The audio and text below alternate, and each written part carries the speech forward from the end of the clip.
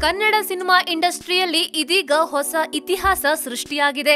ಇತಿಹಾಸ ಸೃಷ್ಟಿ ಮಾಡುವ ಕಾಡ್ಗಿಚ್ಚಾಗಿ ಕನ್ನಡದ ಕೆಜಿಎಫ್ ದೇಶ ವಿದೇಶದೆಲ್ಲೆಡೆ ವಿಜೃಂಭಿಸುತ್ತಿದೆ. ಭಾರತೀಯ ಸಿನಿಮಾದಲ್ಲಿ ಹಿಂದಿ ಸಿನಿಮಾಗಳೇ ಹೆಚ್ಚು ಸದ್ದು ಮಾಡುತ್ತಿದ್ದವು. ಆದ್ರೆ ಇದೀಗ ರಾಕಿಂಗ್ ಸ್ಟಾರ್ ಯಶ್ ಕಮಾಲ್ ಮಾಡಿದ್ದಾರೆ.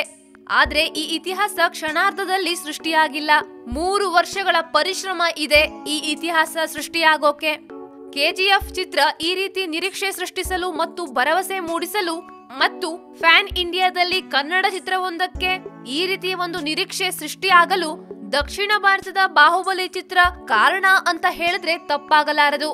ಬಾಹುಬಲಿ ಚಿತ್ರದಲ್ಲಿ ಪ್ರಭಾಸ್ ನಟಿಸಿದ್ರು. ರಾಜಮೌಳಿ ಅದ್ಭುತವಾದ ನಿರ್ದೇಶನ ಮಾಡಿದ್ರು. ಈ ಬಗ್ಗೆ ಸಿನಿಮಾ ತಂಡವೇ ಕೆಲ ವೇದಿಕೆಗಳಲ್ಲೂ ಕೂಡ ಹೇಳಿಕೊಂಡಿದೆ. ಆದ್ರೆ ಬಾಹುಬಲಿ ಚಿತ್ರಕ್ಕೂ ಕೆಜಿಎಫ್ ಚಿತ್ರಕ್ಕೂ ತದ್ವಿರುದ್ಧದ ಐಡಿಯಾಲಜಿ ಇದೆ. ಬಾಹುಬಲಿ ಚಿತ್ರ ಐತಿಹಾಸಿಕ ಚಿತ್ರ. ಆದ್ರೆ ಕೆಜಿಎಫ್ ಎಪ್ಪತ್ತರಿಂದ ಎಂಬತ್ತು ದಶಕದ ಕೆಜಿಎಫ್ ಸಿನಿಮಾ ಪ್ರೇಕ್ಷಕರಿಗೆ ಮತ್ತೊಂದು ಜಗತ್ತನ್ನ ಪರಿಚಯ ಮಾಡುತ್ತೆ. ತಾಯಿಯೊಬ್ಬಳ ವ್ಯತೆ ತಾಯಿ ಕಲಿಸಿದ ಜೀವನ ಪಾಠ, ಜೊತೆಗೆ ತಾಯಿಗೆ ಕೊಟ್ಟ ಮಾತಿನಂತೆ ನಡೆದುಕೊಂಡು ಸಾಧಿಸಲು ಹೊರಟ ಹುಡುಗನ ಕತೆ ಕೆಜಿಎಫ್ ನಲ್ಲಿದೆ ಕೆಜಿಎಫ್ ಚಿತ್ರದ ಕ್ಲೈಮ್ಯಾಕ್ಸ್ ತುಂಬಾ ಚೆನ್ನಾಗಿದೆ ಅಂತ ವೀಕ್ಷಕರೆಲ್ಲರೂ ಹೇಳುತ್ತಿದ್ದಾರೆ.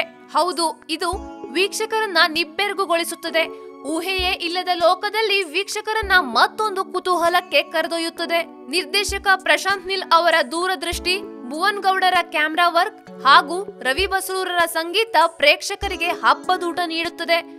ಒಟ್ಟಿನಲ್ಲಿ ಬಾಹುಬಲಿ ಚಿತ್ರದ ಮೊದಲ ಭಾಗದಲ್ಲಿ ಕಟ್ಟಪ್ಪ ಬಾಹುಬಲಿಯನ್ನ ಯಾಕೆ ಕೊಂದ?